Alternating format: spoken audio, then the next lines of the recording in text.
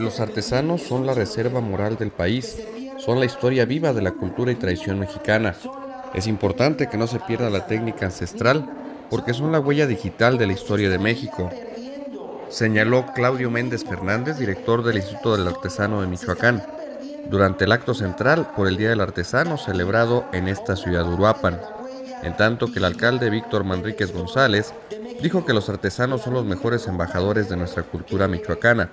Además, son un factor de unión para los michoacanos.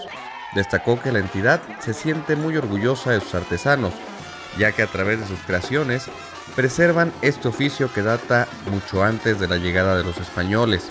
Y agregó, ustedes hermanos artesanos son el motivo por el cual Uruapan se ha convertido en la capital mundial de la artesanía.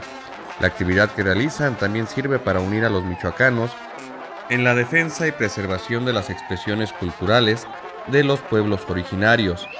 En este marco se premiaron a 60 artesanos por su trayectoria de más de 25 años, entre ellos la artesana sacanense Brígida Alfaro Medina, por 65 años en la elaboración de Punto de Cruz.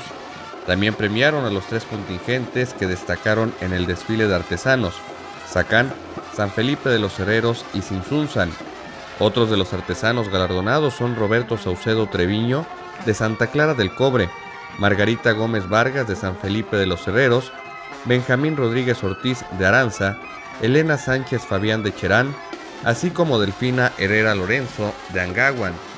Por la mañana se ofició una misa en el Templo de San Francisco, luego un recorrido donde algunos de los contingentes iban acompañados de bandas u orquestas musicales.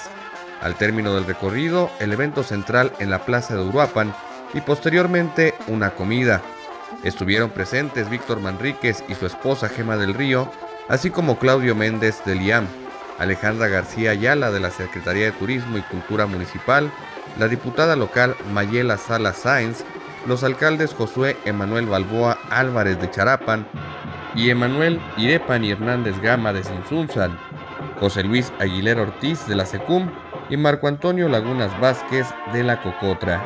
Informó para la agencia de noticias Red 113 Marcos Morales.